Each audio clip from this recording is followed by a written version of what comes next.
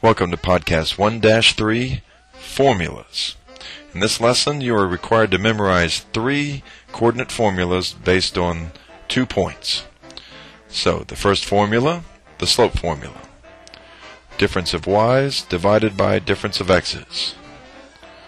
The midpoint formula.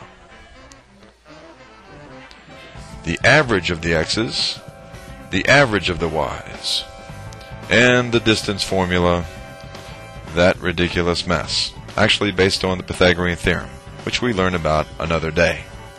The question is, can you use those formulas?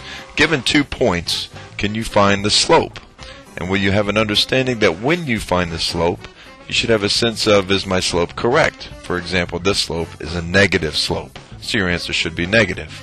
Or as in the midpoint of this segment, that is approximately here. Will your answer be in the neighborhood of the origin? If not, you should have a sense you've done something wrong. And how long do you think this segment is? The distance from A to B. Well, if this is negative 4 and this is 3, that's a length of 7, so this should be a little bit more than 7. Let's try to do it specifically. Given these coordinates, find the slope of the line. First off, a formula is needed. Put the numbers in the formula. That is, put the y and the y in these spots. 2 minus a negative 1 divided by, and the x numbers in these spots. Negative 4 minus 3. Solve for that. This, of course, is plus. Gives us 3 over negative 7. Is that a reasonable answer? Does this appear to be negative 3 7, down 3 over 7. Negative 3 7 is a reasonable answer. The midpoint formula. Of course, first, the formula is that. Let's put those numbers in these places. Take the x's, put them in here. That is negative 4 plus 3 divided by 2, comma, and then the y numbers placed in here. 2 plus a negative 1. Excuse me, negative 1 divided by 2. And this is the coordinates of a point, parentheses with a comma. Simplify this, negative 1 divided by 2. Simplify this, positive 1 divided by 2. Is this a reasonable answer? Looking at the graph, negative 1 half, positive 1 half.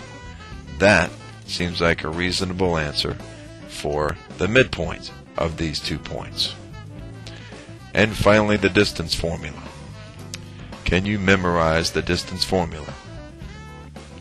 So let's put these numbers in this formula. The x's here. That is parenthesis negative 4 minus 3 squared plus sign the y values here. Parenthesis 2 minus a negative 1 squared.